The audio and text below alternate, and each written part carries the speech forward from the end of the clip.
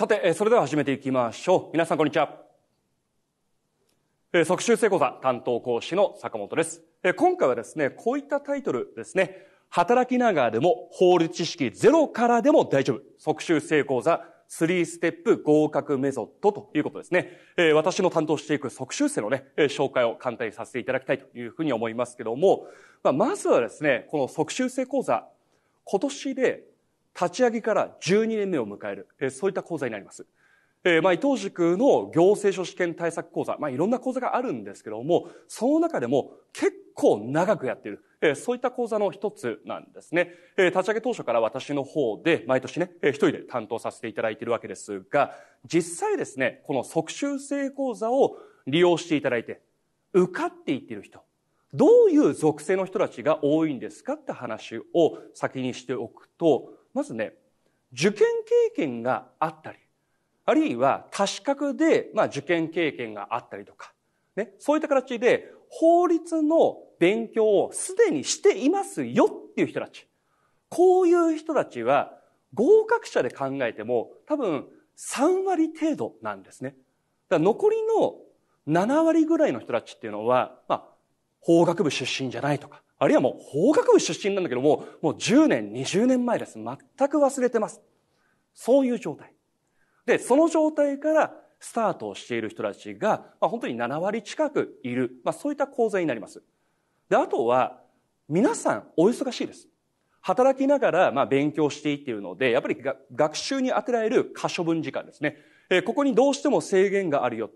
こういう人たちが、これまでの即習成講座出身の合格者の人たちなんですね。まあ、今回、あえてね、まあ、そのタイトル部分に、働きながらでも、法律知識ゼロからでも大丈夫というふうに入れさせていただいたんですが、これは、これまで11年、即習成講座は私の方で担当してきて、ほとんどの人たちがこういう属性なんですね。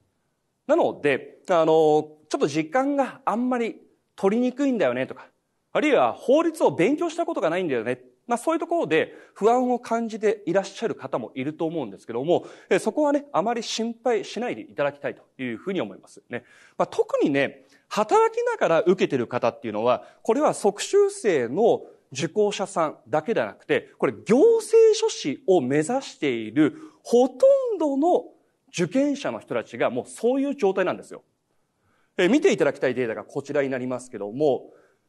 受験者属性データというものが試験センターの方から毎年公式で発表されてるんですが、昨年度、2022年においては、全体の受験者数は47,850名いらっしゃいました。で、年代別に見ていくと、こんな感じなんですよ。一番多い年代が40代。で、次に50代。で、次に30代という感じで、えー、まあ、お忙しい中で、えー、限られた時間の中で受験対策をして、えー、合格までたどり着いている。まあそういう人たちがほとんどなんですね。えー、まあ言ってみれば大人が受ける資格っていうイメージなんですけども、なんでこんだけ、えー、年齢層が高くなっているのかっていうと、これはね、資格の特性だと思うんですね。えー、まあ一言で行政書士という資格の特性を言うのであれば、行える業務分野の幅が非常に広いというところにあります。ね。えいろんな分野にこう使えるんです。この行政書士という資格はね。えなので、あの、受験されている人たち、皆さんのお仕事っていうのは結構バラバラです。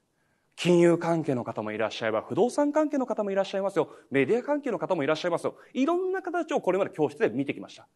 で、そういったそれぞれの人たちが、まあ、働きながら培ってきたスキルとか、人脈とか、まあそういったものを活かして、自分の専門分野ですね。これを確立していきやすいっていうところで、えー、まあ、働きながらこの試験にチャレンジしている方たちが非常に多いというところになりますね。まあ、そういった意味でも、あの、他の受験者、あるいはこれまでの合格者たちも働きながら限られた時間の中で勉強していくっていうのは状況同じになりますので、えなので、えー、まあちょっと時間のところで心配だっていうところあると思うんですけども、そこはあまりね、大きな問題ではないというふうにね、えー、まあ開き直っていただいていいんじゃないかなというふうに思います。一応目安をお伝えしておくと、この即習性講座、講義を聞く時間、で、それを復習する時間。合わせてどのぐらいの勉強時間あれば、まあ、合格に必要なレベルに達しますかっていうと、目安としては1週間に15時間です。1週間に15時間。ね。えー、このぐらい時間を取れてくれば、しっかり講義の内容を消化することが可能になっていきますので、ね。まあ、1週間に15時間っていうと、まあ、例えばですけどもね、土日で4時間ずつ。で、平日に1時間半ずつ。別に机にずっと座ってる時間だけじゃなくていいです。机に座ってる時間と、あとは移動時間とか、あるいは出先の隙間時間とかね。まあそういったものも時間も含めて、そのぐらい時間取れてくると、まあ土日で4時間で、平日で1時間半だと、トータルで1週間15.5時間取れますので、ね、目標達成可能ですので、まあそのぐらいね、時間が取れるのであれば、まあ安心してね、えー、まあ挑んでっていただければというふうには思っております。ね。よろしいでしょうか。で、今回ですね、えー、まあ、即習性講座の紹介ということで、特にカリキュラムのところですね、す、えー、で、に、えー、日程表をね、えー、まあ、ホームページの方で、ご覧いただいたという方多いと思うんですけども、私の方で、まあ、全部自分で作ってるんですけども、このカリキュラムを作る上で今年意識していること、ね、えー、それが何だったのかっていうと、大きく3つあります。これが、まあ、3ステップ合格メソッドっていうところなんですけども、まずは理解ですね。で、その上で、理解した内容、私が講義で伝えた内容を、私と皆さんで一緒に鍛えていく。こういう講義も準備してます。で、あとは、本試験で通用するように実践力を高めるための講義も準備してますね。まあ中身で言うとそれぞれ見ていくと、まずメインになってくるのがステップ1の理解ですね。ここで対応してくる講座がこの基礎力完成編になりますね。ここで合格に必要な全ての知識を提供しちゃいます。なので日程表を見るといろんな講義がね、こう含まれているんですけども、メイン講義はこの基礎力完成編です。で、他は言ってみればサブ講義。大事ではあるが知識追加はないということですね。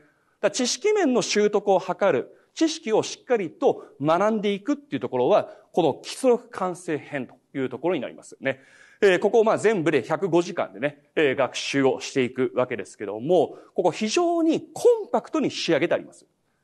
私はですね、あの、毎年、この即習性講座と一年講座と、両方、まあ、複数担当しているんですね。他にも個別の、えー、授業とかね、担当しているので、まあ、いろんな講座を持ってるんですけども、1年コースも、この即習性コースも、両方持ってるんですよ。